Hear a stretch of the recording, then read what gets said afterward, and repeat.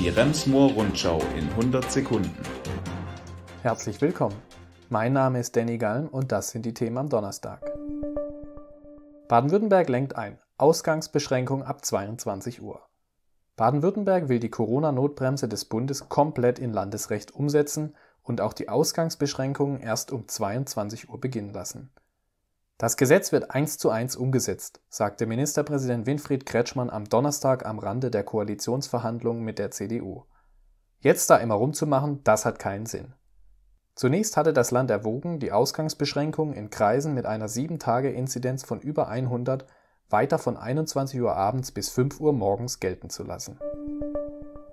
Linienbus für Schnelltests auf dem Schorndorfer Bandelparkplatz. Mit einem umgebauten Linienbus, der von Donnerstagmorgen an auf dem Bandl-Parkplatz steht, gibt es in Schorndorf eine weitere Möglichkeit, zu einem Schnelltest zu kommen.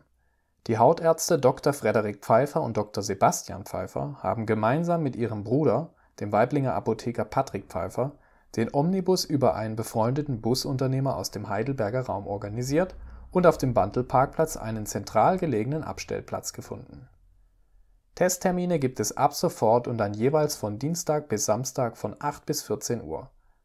Entweder über die COSAN-Software des Rems-Murr-Kreises oder auch spontan zunächst mit Handy und QR-Code, bald aber auch mit handschriftlich ausgefüllten Formularen. Ausführliche Informationen zu den genannten Themen finden Sie auf zvw.de. Vielen Dank fürs Zuhören